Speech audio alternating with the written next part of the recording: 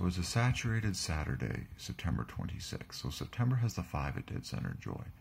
It's saturated Saturday. I'll probably drink Max Cocoa, okay, because that is often what has happened um, for me personally on saturated Saturdays. It's also the 26th, which equals God, okay.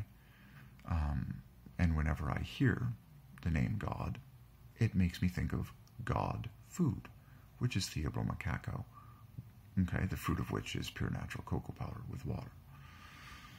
Okay. Um, and uh, I've preached on that a million times. Okay, well, maybe not a million times, a lot of times. Um, and then there's 26 bones on each of your feet. Okay, rise up and walk. Okay, 26 bones that match the letters G O D, and I've preached on that before. Seven for the ankle, three rows of five for the middle, that's the O, and then four extra bones for the D on the tip. So on each of your feet, and every human's feet from the dawn of time, are exactly 26 bones arranged in exactly three groups that match mathematically the letters G O D.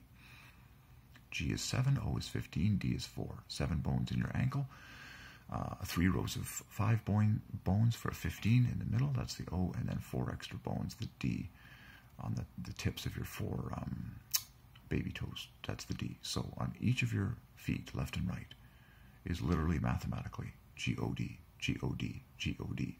And you walk, and when you walk down the street, you walk from heel to toe which is in order seven bones, 15 bones, four bones, G O D, G O D, G O D. And there's a very famous person named God in the flesh who walked on these same 26 bones while he walked this earth. His name is Jesus Christ, God incarnate, the second member of the Trinity.